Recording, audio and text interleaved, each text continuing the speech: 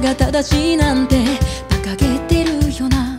実際自分は死んでもよくて周りが死んだら悲しくてそれが嫌だからっていうエゴなんです。他人が生きてもどうでもよくて誰かを嫌うこともファッションでそれでも平和に生きようなんて素敵なことでしょう。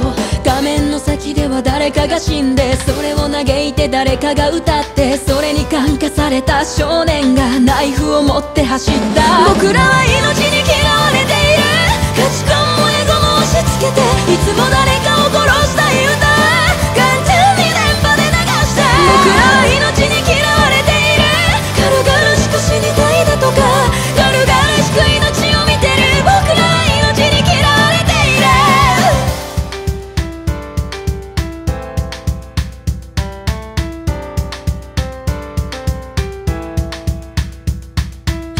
金がないので今日も一日中ダミーを犯す。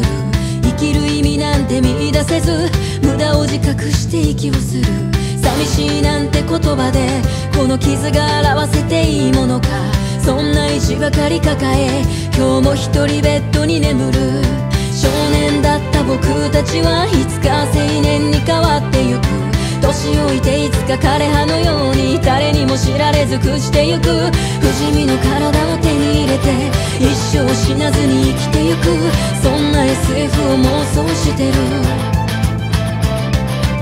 自分が死んでもどうでもよくてそれでも周りに生きてほしくて矛盾を抱えて生きてくなんて怒られてしまう。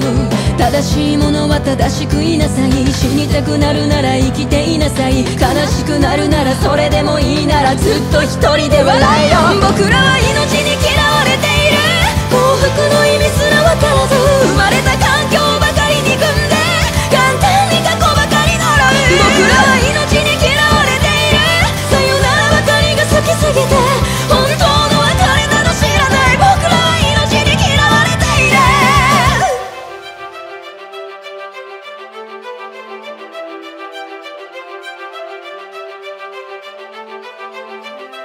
白も別れも愛情も友情も滑稽な夢の戯れで全部金で買える代物明日死んでしまうかもしれない全て無駄になるかもしれない朝も夜も春も秋も変わらず誰かがどこかで死ぬ夢も明日も何もいらない。君